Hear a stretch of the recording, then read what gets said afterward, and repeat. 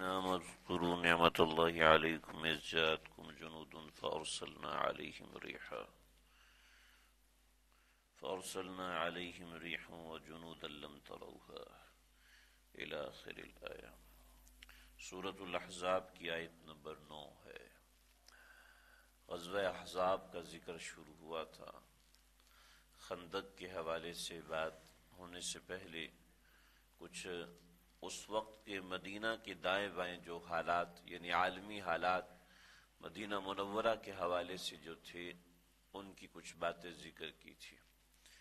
फिर नबी अकरम सल्लल्लाहु अलैहि वसल्लम के खिलाफ, आपके मदीना और अहल मदीना के खिलाफ लोगों को जो जमा किया जा रहा था, उसके अंदर हईबन अख्तब और इसी तरीके से दीगर सरदारान यहूद ये सब के सब कुछ बीस सरदार जमा होकर मक्का मुकर्रमा पहुँचे और अबू सुफियान से कहा कि अपने पचास चुनीदा अफराद लेकर आओ। चुनाचे अबू सुफियान मक्का के पचास मुआजीन को लिया और ये सब काबातुल्ला पहुँचे और काबातुल्ला के पर्दों से चिमट कर और लिपट कर इन्होंने एक दूसरे से वादे और अहदो पैमान किए कि जब तक हमारा आखिरी सिपाही भी बाकी है, तब तक हम लड़ेंगे और हम उस वक्त तक लड़ते रहेंगे जब तक के नाउजुबिल्ला मदीना और अहले मदीना को ख़त्म न कर दे। ये इन्होंने मुआहिदा तय किया। चुनाचे ये लोग यहाँ से निकले, चूँकि बनी वायल और बनी नज़ीर के यहूदी थे, बुग्ज और अदावत के भरे हुए। जितना इस्लाम को नुकसान यहूदियत ने पहुँचाया है इतना नुकसान किसी ने भी नहीं पहुँचाया। चुनाची फितना यहूदियत, इसकी वजह से फ़िरक पैदा हुए, इसकी वजह से फ़िरक बातिल जन्म लिया, इसकी वजह से मुसलमानों की दीवार में शगाफ पड़े, और इसकी वजह से मुसलमान आपस में दस्तों गिरबा हुए। पूरी तारीख है सेहूनी ताकतों ने किस तरीके से हमारे अंदरूनी खलफिशार को इस्तेमाल किया और इसी तरीके से हमारे अंदर अपनी ताकतों को पैदा करना शुरू किया। चुनाचे प्रोडक्ट के ज़रिए से, फौजों के ज़रिए से और असलहे के ज़रिए से। आप देखें, इस ज़माने में असलहा डीलर कौन है? अक्सर आपको यहूदी नज़र आएँगे। चुनाचे कभी अफ़गानिस्तान पर जंग मुसलत है और कभी किसी दूसरे इलाके में जंग है। क्या है कि उनका असलहा बिकता है? असलहे के साथ चीज़ें बिकती हैं एमरजेंसी नाफिज होती है। एमरजेंसी के अंदर कोई रेट्स नहीं देखता। इमदादी सरगर्मियों में कोई रेट्स नहीं देखता। और जो चीज़ें तामीर नो होती है, उस सब के फ़ायदे यहूदियत को जाते हैं। और इसी तरीके से आप देख लीजिए कि कि दुनिया के अंदर जितने मीडियाज हैं, सबको यहूदी कंट्रोल करता है।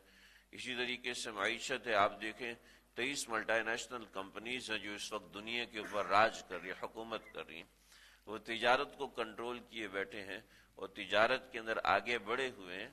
एक वक्त था, ये सब चीज़ मुसलमानों के हाथ में ज़्यादा दूर वक्त नहीं, आज से सौ, दो सौ साल पहले का वक्त था।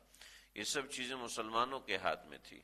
अब आज देखें कि हमारी जो आए रोज, जो झड़पे हैं, हमारे बॉर्डर पे झड़पे हैं, दाएँ बॉर्डर भी आ गया और डेवरन लाइन भी आ गई और हमारी कंट्रोल लाइन भी आ गई। इन दोनों के ऊपर हम हम मोहताज हैं, असलहे के, चूँकि हमारी फौज अपना असलाह खुद बनाती है। इसलिए इसलिए फौज की ताकत को भी हमारे अंदरूनी खलफिशार को इस्तेमाल करके दानिश्ता ना या ना दानिश्ता दोनों एतबार से हमारे मुल्क के खिलाफ किया जा रहा है कि किसी तरीके से इनका मिजाज मुतनाज़ बने। क्योंकि किसी भी मुल्क को तबाह करने के तीन बात चूँकि चल पड़ी, मैं मुख्तसर बता दूँ। किसी भी मुल्क को तबाह करने के लिए तीन चीज़ें तबाह करना ज़रूरी होता है। सबसे पहले उस मुल्क की सियासत को मुतनाज़ बनाओ।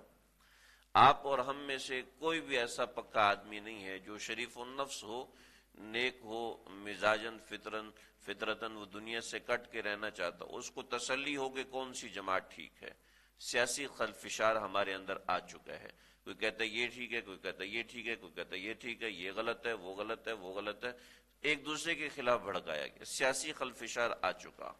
माशी खलफिशार, आप देखिए, हमारे मुल्क के रुपए की वैल्यू क्या रही है और हमारा मुल्क माशी तौर पर कहाँ बैठा हुआ है, आप खुद समझ सकते हैं। माशी तौर पर मुल्क को तोड़ा जाए, सियासी तौर पर मुल्क को तोड़ा जाए और तीसरा है दिफाई तौर पर मुल्क को तोड़ा जाए। चुनाचे दिफाई, दिफा हमारा मज़बूत है, वरना हमारा भी हशर वही होना था जो फलस्तीन का है, जो चेचनिया का है, और जो मुस्तबिल करीब के अंदर माजी करीब के अंदर अफ़गानिस्तान का रहा, और फ़िलहाल इस वक्त जम्मू कश्मीर और इन इलाकों का। कि दिफा जब मुसलमानों का कमज़ोर चुनाचे दिफाई एतबार से हमारी फौज को दुनिया बुला जैसे अभी कतर में फीफा वर्ल्ड कप पाकिस्तान की फौज गई हुई है, इससे दुनिया को बहुत तकलीफ़ है। लेकिन आप देखें कि अरब ममालिक के अंदर जो हिफाजत के लिए फौजें हैं, वो अमरीका की और बरतानिया की फौजें खड़ी हमारी फौजें नहीं खड़ी। तेईस बहरी बेड़े सऊदी अरब के दाएँ बाएँ, अमेरिका के खड़े, पाकिस्तान के नहीं खड़े। जो सऊदी अरब उनके बगैर कोई मुआदा कर नहीं सकता। दिफाई लाइन नहीं है उनके पास। दिफाई लाइन कमज़ोर है। चुनाचे उनकी मर्ज़ी से सैनमा हाउसेस भी खुल रहे हैं और वो सब कुछ हो रहा है जो कि जो कि किसी इस्लामी मुल्क में नहीं होना चाहिए। ये सब चीज़ें, ये सब चीज़ें और ये सब इस नोयत की चीज़ें किसी भी मुल्क को सियासी तौर पर, माशी तौर पर और दिफाई तौर पर तबाह करने के लिए यहूद ने कंट्रोल की हुई है। और हमारे तमाम के तमाम फितनों का मर्जा यहूद है और उसके बाद हम बनते हैं, क्योंकि हम उसको समझते ही नहीं। हम इस चीज़ को समझने के लिए तैयार नहीं होते, हम इन बातों को आगे चूँकि कुरान के तनाजुर में नहीं देखते तो फिर ये सब होता है। चुनाचे यहूद, ये बनी वाइल के यहूद थे और बनी नजीर के यहूद थे। इन्होंने मक्के में जाके बात की और ऐसा अटैक मुसलमानों पे पहले कभी कर नहीं सके मुशरकिन। चुनाचे इन्होंने अबू सुफियान को तैयार किया कि तुमने हमला करना है। अब देखें बड़े बड़े इस्लामियात पढ़े हुए और इस्लामिक हिस्ट्री पढ़े हुए भी यही समझते हैं कि गजब आजाब के अंदर हमला जो है अहले मक्का ने किया था। हालाँकि असल हमला अहले मक्का ने नहीं किया असल हमला यहूद ने किया था।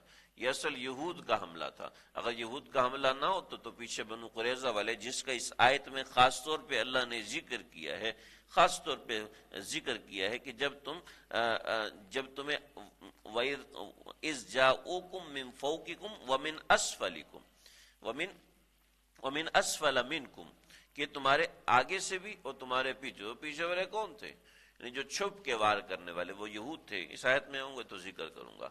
तो इन यहूद ने सबसे पहले ये यहाँ से निकले हैं और इन्होंने कबीला बनी गतफान को कबीला बनी गतफान को तैयार किया, कबील फजारा को तैयार किया, और इस तरीके से कई दूसरे कबाइल हैं, उन सब कबाइल को तैयार किया कि मुसलमानों के ऊपर अटैक करने, खैबर के अंदर जितनी खजूरें आएँगी वो पूरे बरस की खजूरें आपको दी जाएँगी। बाजी रिवायत में निसफ खजूरें आपको दी जाएँगी। यानी पूरे साल की खजूरें, बाजी रिवायत के मुताबिक पूरे साल की जितनी खजूरें होंगी, उनमें से आधा तुम्हें दिया जाएगा। चुनाचे चुनाचे जो इबन हसन फजारी, ये अपने कबीले को भी लेकर आए बनु गतफान के सरदार थे तो बनु गतफान को भी लेकर आए।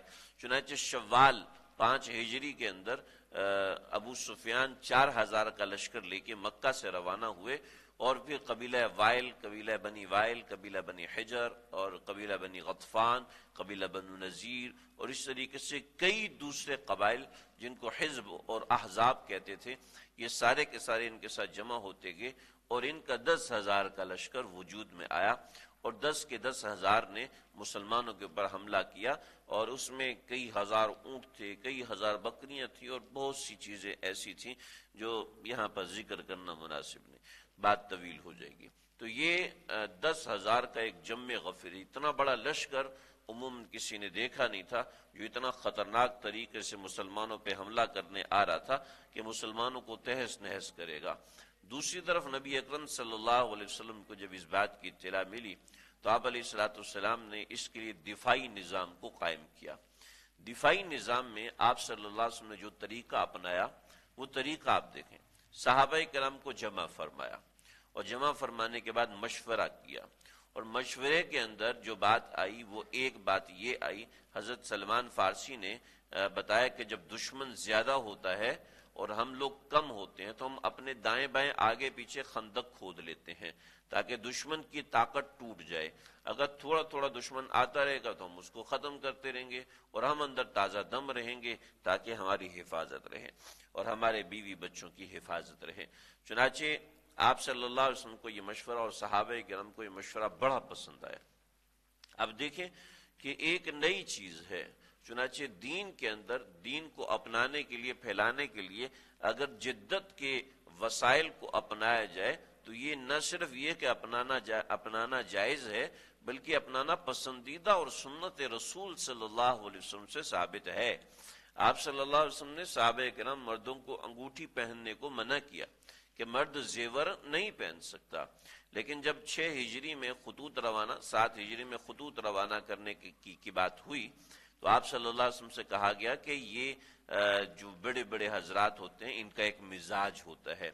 और मिजाज ये होता है कि वो बगैर मोहर के कोई खत लेते ही नहीं है। अब तो आपने उनके मिजाज की रियायत फरमाई। आपने कहा, मैं अल्लाह का नबी हूँ, मैं इनके लिए क्यों बदलू? इनको चाहिए कि मेरे लिए बदले? नहीं, आपने बल्कि आपने उनके हाँ ठीक है, जब उनका ये मिजाज है तो हम उनके मिजाज की रियायत करते हैं। चुनाचे आप सलाम ने मोहर बनवाई और उस अंगूठी को आप जेबतन फरमाते थे और पहने रखते थे और जब मौका होता था तो उस अंगूठी के ज़रिए से मोहर लगाया करते थे। तो आप सल्लल्लाहु अलैहि ने मौका ब मौका जो जदीद आलात और जदीद चीज़ें हैं उनको इस्तेमाल फरमाया, न सिर्फ़ ये कि इस्तेमाल फरमाया, बल्कि पसंद फरमाया। चुनाचे उस जमाने में शलवार सिर्फ़ खातन पहना करती थी। तो आप सल्लल्लाहु अलैहि वसल्लम को जब शलवार मर्दों के हवाले से पेश की गई तो आपने उसको पसंद भी फरमाया। बाज रिवायत में कि दो मरतबा पहना भी है आपने शलवार को। फरमाया कि ये बहुत सतर वाली है और बहुत अच्छी चीज़ है, इसको इस्तेमाल करना चाहिए। और फिर साहब कराम ने उसको बड़ी बाकायदगी से इस्तेमाल किया। इससे पहले मर्द हजरात सिर्फ़ तहबंद इस्तेमाल करते थे, शलवार इस्तेमाल नहीं करते थे। तो आप सल्लल्लाहु अलैहि वसल्लम ने जो जदीद चीज़ें हैं, जो जदीद आलात हैं, उनके इस्तेमाल नो उनके इस्तेमाल को बड़ा पसंद फरमाया, तालीम भी दी। और बाज मकाम पर इनकी बड़ी ज़रूरत होती है। चुनाचे खंदक का तरीकाकार आपने ये नहीं कहा, चूँकि नई चीज़ें छोड़ो, दफ़ा करो, अभी ऐसा नहीं करना चाहिए। पुरानी चीज़ें ओल्ड इज़ गोल्ड वाला, ये बात आप वसल्लम ने नहीं फरमाई। चुनाचे खंदक के लिए एक निज़ाम बनाया गया। आजकल हमारा मुसलमानों का खास तौर पे हम अहले पाकिस्तान की बात करें पहला तो यह है कि कुरान मजीद में ऐसी कोई दिलचस्पी नहीं। दूसरी बात यह है कि अगर दिलचस्पी होती है तो सिर्फ़ माने की हद तक होती है, किसी किस्से की हद तक होती है। असल में उसकी जो जोग्राफियाई चीज़ है, अगर उसको देखा जाए, समझा जाए तो उसमें बेशुमार चीज़ें होती हैं। इस किस्से के ऊपर कई हजरात ने मकालाजात लिखे हैं, समझ ले पीएचडी की हैं, और बहुत से ऐसे मामला हुए हैं।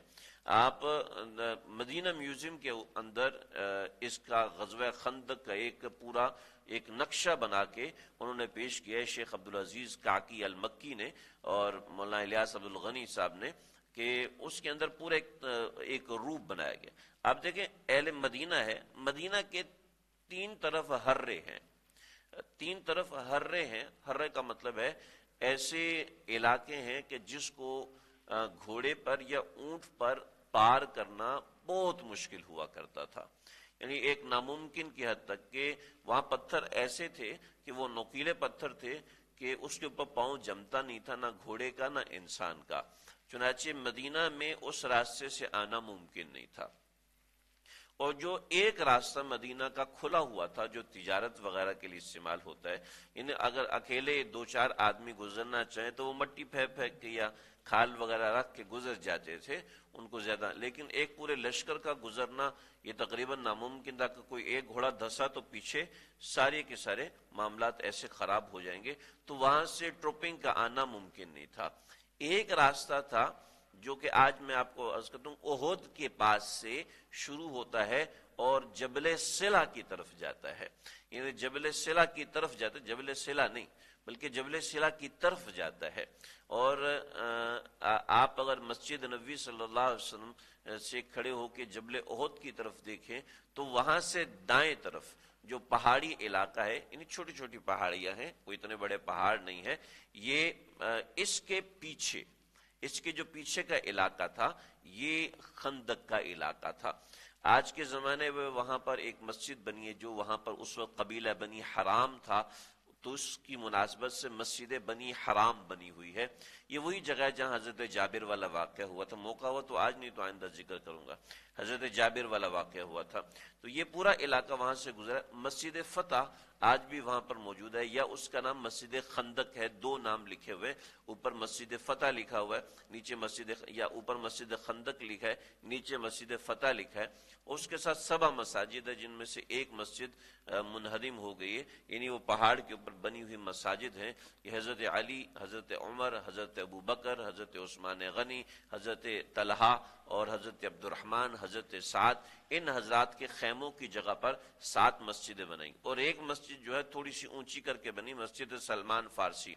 ये वो मस्जिद है कि जिसके अंदर, जिस जगह पे आप सल्लल्लाहु अलैहि वसल्लम ने बैठ के दुआ फरमाई थी और जोहर से असर की दुआ फरमाई थी, बुद्ध के दिन एक रिवायत में आता है, चुनाचे बुद्ध के दिन जोहर से लेकर असर के दरमियान जो दुआ मांगी जाए, कबूल होती है तो वह इसकी मुनासिबत से ही रिवायत है कि यहाँ पर इस मस्जिद में, इस मकाम पर दुआ मांगी थी आप सल्लल्लाहु अलैहि वसल्लम ने, दुश्मन के पसपा होने की तो इसको, इससे दुश्मन शिकस्त खा के भागा था।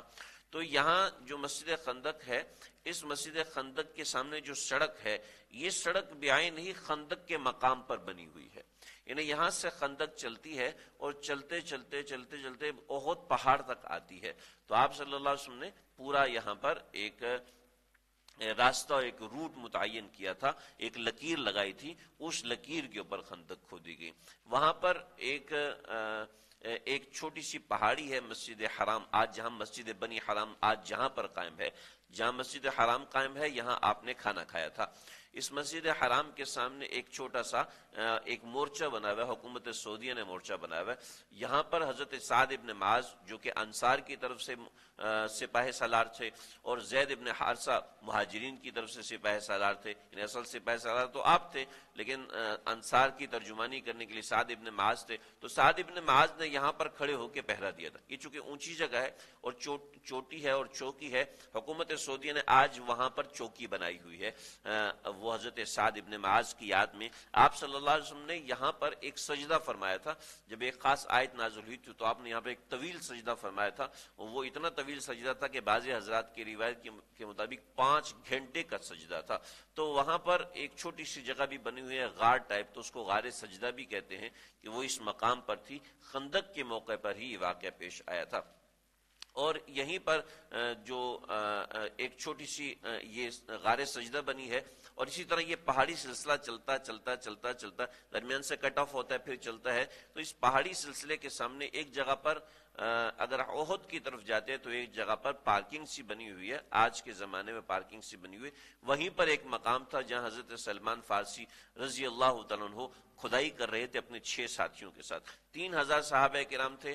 आप सल्लल्लाहु अलैहि वसल्लम इन लेके निकले और इस मकाम तक पहुँचे।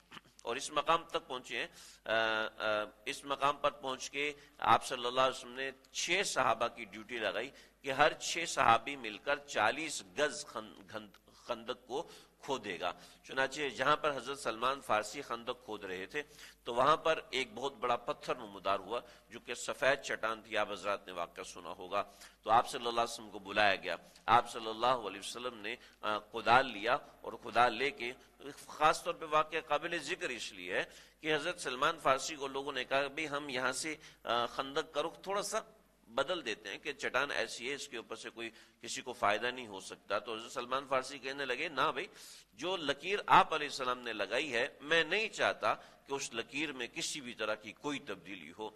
तो कहा यह बात भी बिल्कुल दुरुस्त है कि आपके हाथ की लगाई लगाई हुई लकीर है, इसमें तब्दीली नहीं आनी चाहिए। चुनाची हज़रत सलमान फारसी रज़ी अल्लाह ने ऊपर आए और आप सल्लल्लाहु अलैहि वसल्लम अपने तुर्की खेमे में थे। तुर्की खेमा ऐसा खेमा होता है जैसा हमारा एतकाफ में खेमा होता है। यानी जिसका छत नहीं होता, सिर्फ़ चादर लगाई होती है कि पर्दा किया होता है ताकि आप सल्लल्लाहु अलैहि वसल्लम istirahat फरमा सकें या कोई आपसे मिलने आना चाहता है या कोई आपसे बात करना चाहता है तो वो कर सके।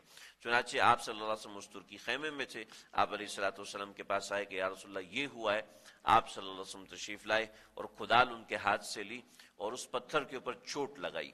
जब वो चोट लगाई तो एक बड़ी रोशनी बड़ी रोशनी फैली कि ऐसी रोशनी फैली कि सबकी आँखें चकाचौंध हो गई। फिर दूसरी चोट मारी आपने अल्लाह अकबर कहा।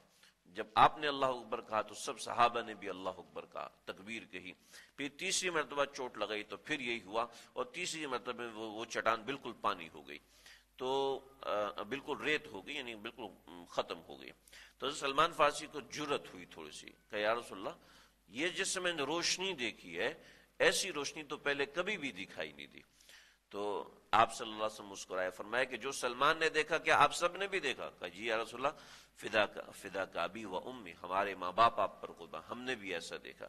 तो आपने फरमाया, जो पहली रोशनी निकली थी तो अल्लाह ने मुझे हीरा के महल्लात दिखाए और ऐसे दिखाए जैसे कि तुम, जैसे कि तुम कुत्ते का मुँह खुला होता है तो उसके दो दांत तुम्हें चमकते दिखाई देते हैं, ऐसे ही हीरा के महल्लात मुझे चमकते हुए दिखाई दिए। और हज़रत जबरील ने आके मुझे इतला की कि ये आपके आ, ये मुसलमानों के सर निगू हो जाएँगे। फिर जब दूसरी चोट मारी तो किसरा के महल्लात मुझे ऐसे नज़र आए जैसे कुत्ते के दो दांत चमकते हुए नज़र आते हैं उनके सफ़ेद महल्लात मुझे जू नज़र आए। फिर जब तीसरी चोट मारी तो कैसर के सुर्ख महल्लात मुझे ऐसे ही चमकते हुए नज़र आए।